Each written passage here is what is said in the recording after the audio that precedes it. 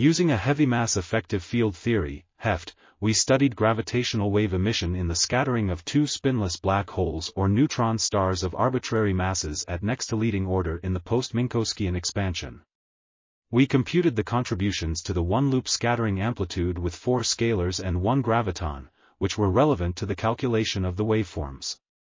Furthermore, we presented expressions of classical tree-level amplitudes with four scalars and up to two radiated gravitons. These were obtained using a novel on-shell recursion relation for classical amplitudes with four scalars and an arbitrary number of gravitons.